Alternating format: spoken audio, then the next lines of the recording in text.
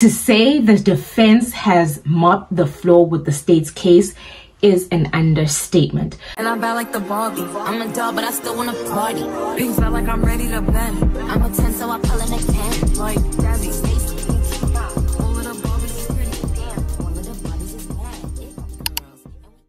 Hello and welcome to my channel. If you're new here, my name is Nogwazi Ndombela, also known as Kwazi Bear on all social media platforms. Do subscribe, be a part of this family, and if you are returning Sabi, welcome back, darling. Now, guys, we are back in court in the Senzo Meyiwa trial, and to say the court is on fire, to say the defense has mopped the floor with the state's case is an understatement. So, without wasting too much of your time, let us get into the proceedings for the week. Before we get into that, guys, please do like this video, do share so that it reaches a greater audience, and also do super thanks if you can on the button down below. So, as we all know, we wrapped up with the case uh, still with Pinky Vythalingham on the stand uh, before the three week recess that we have just returned from. And um, with the return of the court proceedings, we were expecting Pinky Vythalingham to continue with her evidence, but we were really at the tail end of her evidence. So on Monday, the 22nd of July, indeed, the state did conclude with um, leading Pinky's um, evidence with regards to the cell phone data. On Monday, Mngomezulu, the defense counsel for accused number one, then took on to the cross-examination. Now, from the get-go, Mngomezulu um, lets Pinky read a statement, which is by a Captain Mtetwa, who was um, the person who had requested the Section 205 to Vodacom. And in the statement, we now find out that the eight numbers that were requested Section 205 for included the people that were in the house. So two of the numbers for Kelly Khumalo, one for um, Senzo Meyiwa, one for Longwe Twala, one for um, Tumelo Madlala, the other for um, Makumalo, which is Kelly's mom, the other for Zandi Khumalo, and um, also included in that was um, a Section 205 that was requested for Umandi Samkize, who was Senzo Meyiwa's wife at the time. Now, the first bomb that was dropped by Mngomezulu is the fact that he let Pinky know that um, in the court there has been a confession that says that a call was made to accused number three allegedly um, by Kelly Khumalo on the day of the incident. So um, Mngomezulu wants to go into basically the cell phone records of Kelly Khumalo to see if there was such a call that was made from Kelly Khumalo's number to the number that is associated with accused number three. And when the judge interjects in this, um, he then points out that no, but Muhola had already told the court that the confession was incorrect or parts of the confessions were incorrect. And the judge was referring to the confession that was made by accused number one. However, Mngomezulu in this point or at this point in time was actually referring to the confession that was made by Undanzi. Um, remember, taking us back just a little bit, the confession made by Umuzi Sibiya was said to be incorrect because Muzi had said that the incident firstly happened on a Saturday, and secondly, he had said that he was there with Makimbi and Marco Butelezi, which um, Sergeant Mohola later found that these people were either in jail or shot dead by the police by the time the incident happened. So it was not possible for those people to be involved in the case. So basically his confession was said to be incorrect. Now Danzi's confession had said that um, he was with accused number three and five and he received a call or accused number three received a call from Kelly Khumalo asking them where they are in order for them to go and do the hits. So now the cell phone records Mngomezulu wanted to go into are not reflecting any call. And the state then says, no, now you're putting it as a fact that that um, accused um, number three was contacted by Kelly Khumalo. And um, Mngome then says, no, no, no, we're not putting it as a fact, but we're trying to show just how untrue the confession that was allegedly made by accused number two actually is. Another thing that Mngomezulu touched on, which was very important, he even said when he started the cross um, examination that this will even help accused number two. He then says, um, you led evidence before this court that the number ending in 0436 um, uh, is registered or recorded under Silo Twala, and the state is the one that told you that this number was actually used by Longwe Twala. If the state hadn't told you, then you wouldn't have known that this number was used by another person. So how this is um, relevant when it comes to accused number two, if you remember, he was arrested on the 16th of June, and it said that his cell phone, um, according to his version, both his cell phones were taken from him. However, according to the police versions, no cell phones were taken for him and there were um, basically calls that were made from his phone. So this just comes to prove that even if a phone is re registered to you, it does not necessarily mean that the transactions were done by yourself at the time. Whilst Mngomezulu continued with his cross-examination, a short adjournment was requested by the defense counsel for accused number five. And after that short adjournment, Mngomezulu then says he had completed his cross-examination, which for me, he kind of ended it kind of abruptly. We were still expecting him to continue. But just from what I can make of it, um, the defense counsels for accused three and five um, probably said, you know, your client isn't involved in this, so let us handle those communications with Kelly Khumalo or the alleged communications with Kelly Khumalo. So Mngomezulu concluded his cross-examination on Monday and Ramusipili then went into his cross-examination. Ramusipili being the defense counsel for accused number one, number two. What I've picked up about Ramusipili is that he is a person who is really good with technology. He seems to know a lot about technology. So his cross-examination when he commenced basically touched on the procedures, the towers and the sectors on the towers, all those sort, sort of details. He himself also mentioned the issue with the communication between accused number three and um, Kelly Khumalo's phone and Pinky from Vodacom did confirm that there was no communications between the two numbers that are said to be Kelly Khumalo's numbers as well as the number that was linked to accused number three on the day. Very important question that Ramusipili asked on the day is if a person is at Queenswood, would it be possible that his phone would pick up another tower? This is now based on information in 2014, based on the fact that we were in 2014. And the answer from Pinky was that no, um, any calls that this person makes or any calls that they receive would be at their nearest tower. So it would not jump from the tower that they were at and go to the next available tower. It will always pull from the closest tower, which now begs the question, why wasn't Ntanzi's phone pinging at um, Queenswood and then at some point pinging at Palmer Flats when he was located in one police station. Another question that Ramusipili touched on, which I felt was very, very important, but he seemed to lose his trail of thoughts during asking this question because the judge then butted in as well as Usibanda. But the question was with regards to the Moleleki Tower. Now, um, that place is, um, according to Steyn's evidence, was a tower that is closer to the Basotho hostel. Now, the question that Ramusipili had was, was accused number three's phone ever at the Moleleki Tower on the 26th of October? And before we could get a response from Pinky, there was a distraction from the judge and a distraction from Sibanda, which made Ramusipili lose his train, train of thought and didn't go back to the question. So we did not end up hearing from Pinky if that was so.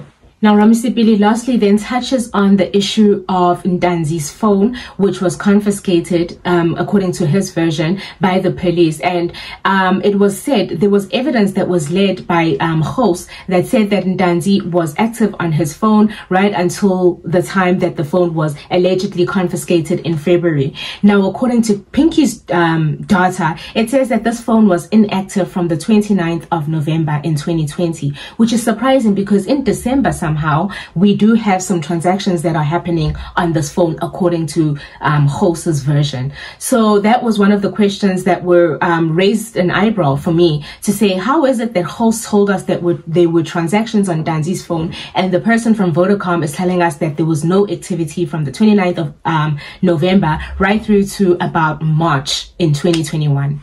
Ramusipili then completed his cross-examination and it was over to the defense counsel for accused number three, um, Mr. Advocate Mnisi.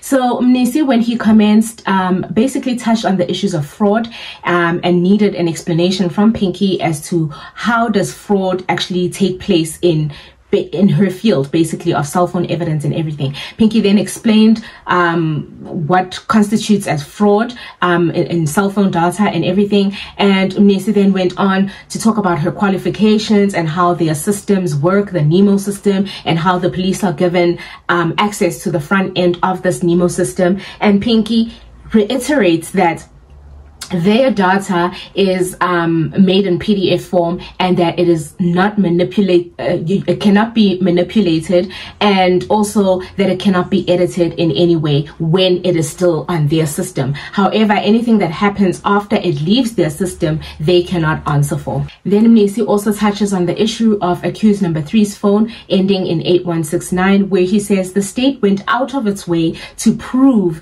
that accused number three was part of the intruders that allegedly entered the Khumalo residence on the 26th of October 2014 um, at around 7 to half past 7 um, at night. And he then asked, where was accused number three's cell phone, according to the Vodacom expert? And she says, at around half past 7 to 8, that cell phone is in Johannesburg, around Holt Street or Moy Street, and it was nowhere near um, the the Khumalo home, and that basically removes accused number three from the scene. After having cross-examined Pinky with regards to this information, then Mnisi um, basically puts the version of accused number three onto the record and says, according to accused number three, on the 26th in the morning, they took off um, and he was with accused number four. They had arranged to go to Spruit. There was a combi that was driven by one of their friends, and there were about seven of them in the combi. They all went to Katlehong, which is um, and they had a couple of drinks. From there, they went to Lesedi, and um, they visited a friend of theirs. And then from there, they took off and went to Johannesburg, where they passed at George Goch Hostel, and that is where they saw accused number five, who had told them that he had just been back from work. And at the time, he says that accused number um, five was his friend. They then drove off with him to Johannesburg, dropped off accused number four, and he then went home and he slept. That is the version of accused number three. The long adjournment on Tuesday, the 23rd of July, we then had um, Baloyi, the state prosecutor, arriving in court and letting us know that the arrangement for the ballistic experts needs to be um, they need to basically have a conversation about um, how the ballistic experts are going to meet in order for the defense, uh, um, the defense's uh, ballistic expert to do his own report on the gun and the bullets and everything. So um, we then put Pinky's cross-examination on hold and the arrangement was made with um, Mr. Peterson, who is the ballistic expert for the defense. And it was arranged that he would start working on the bullets and the gun on Monday the 29th and Mangena and Kininda would be um, present when he does all these tests. Um, and another thing, he said that he didn't want to take the gun with him um, on Tuesday and he would prefer if they brought the gun to his labs. The judge then offered um, that they use the state's labs instead and Mr. Peterson, Peterson um, insisted that he would use his own labs and surprisingly enough when Kininda was asked on Tuesday where the gun was he said the gun was in a safe however the gun was apparently in court. Peterson was then made to put on record what um, items were in the bag and he says it is a gun it's a 9 millimeter gun um, as well as some um, bullets. And then there's like the test bullets from Rulofsa. There's two of those. And um, and the test cartridge. And also the eight from Mangena as well. So the proceedings on Tuesday ended with that um, expert having to talk to Umnisi with regards to what will happen on Monday. We should uh, expect a report from him maybe early September. So that is when we will be able to continue with the cross-examination of the ballistic expert. On Wednesday, the 24th of July, Mnisi continued with his cross-examination. And when I say the state's case collapsed on Wednesday, please believe me. Because Mnisi then goes on to two exhibits that were before the court. It's exhibit triple j1 which is pinky's um, affidavit as well as um, exhibit 02 which was um, colonel Steyn's um, affidavits. Now, when he goes through these documents, there's a realization that there is certain numbers that are not the same. So let's get into those details. Firstly, um, when Steyn gave his evidence, there are two calls in particular that he spoke about on the 2nd of August in 2020, uh, 2014, as well as the 15th of October in 2014, when he says accused number five was in contact with Kelly Khumalo. Now, the surprising thing about this information information is that on Pinky's information, it says that the number that actually contacted Kelly Khumalo on the 2nd of August is completely different to the number that is reflecting on Colonel Steyn's test, uh, testimony or statement. As well as on the 15th of October, the number is completely different. In fact, the number that is said to have called Kelly, according to Pinky's um, information, is actually Senzo Meyiwa's phone. Now, Mnisi then asked, how is it possible that Steyn's information is saying this um, accused number five called and your information is saying these are the two numbers that actually called? And she says she cannot answer for that. But what does, what she does know is that the version of Steyn's evidence is on an Excel form and Excel can be edited. However, their form is in PDF form, which she knows for, for, for certain that it cannot be edited. Mnisi then puts it blankly to, to Pinky that that's because the data was manipulated. It was manipulated so that it could be said that accused number five had communication with Kelly Khumalo so that it suits the state's narrative to say that it was a hit indeed that was made on Senzo Meyiwa's life, which is incorrect, which is false, which is fraudulent. He even goes as far as saying the accused has instructed him that he wants to lay a charge of fraud because this information information is incorrect. The the information was misrepresented in court, and um, he now wants to lay charges against maybe the state, um, maybe Steyn, because he's the one that led the evidence which is going to be hectic. He even went as far as saying Pinky should make herself available because they will be calling her back. After the realization that the two um, exhibits are not the same and also that the evidence of Pinky is not matching with the evidence of Halls. Mnisi then completed his cross-examination and it was said that Mshololo would continue with cross-examination on Thursday the 25th of July. On Thursday, the 25th of July, we came to court and expected Umshololo to come with her cross-examination. However, she was unavailable and we were notified that she actually had a case in KZN that she needed to attend to. So the court was postponed to today, which is Friday, the 26th of July. Now, the one thing that Umshololo pressed on is also the issue of the documents that are not the same. One is in PDF, one is in Excel, one is saying this number, one is saying that number. And she really pressed. When I said she mopped the floor with that cross-examination, she really did because she then made Pinky say it onto the record that this information is not the same. This information is not accurate according to Vodacom's system. And um, also to say that she was approached by the state or by the advocates, as she says, and they they realized they realized that the information does not correlate. So now it was up to her to go and check from her data why it does not colorate. And um, Mshololo then asked her, when was this information made available to the state? Because now Mshololo is trying to point out that the state had already realized or noticed that the information that uh, Steyn had uh, given evidence about did not match Vodacom's information. They went back to Vodacom to try and correct it, and Pinky had to now come to court and the information is not the same. So when did uh, the state know about this? And when they did find out about it, why is it that they did not notify the court that there has been a mistake in the data? Mshololo then continued with her cross-examination where she touches on certain numbers that accused number five denies are his and she then makes Pinky read the records as to the RICA information for these numbers. And indeed according to the RICA information none of the numbers that are said to belong to accused number five are picked up on the Vodacom system as numbers that were RICA'd under him. But even more important is that there are two numbers that when they read them out to Vodacom Vodacom says they don't have data for that cell phone. So how is it possible that Steyn was able to come to the court and tell us that this number belongs to Ntuli because of information they got from Vodacom when Vodacom comes back and says we don't have any activity on this number? That is a question that I still need um, answered. Anyway, we are currently on lunch and I will continue with the version of accused number five with regards to the 26th of October after the break.